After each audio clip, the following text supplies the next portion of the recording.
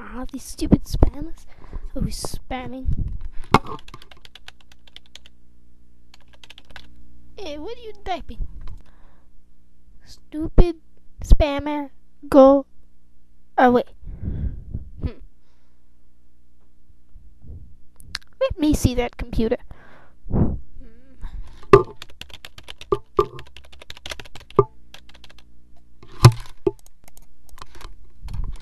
Nigel, you've called people spammer five times in the past week.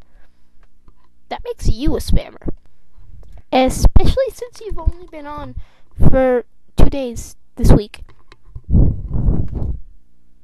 Hmm. I've never been. Oh, yeah.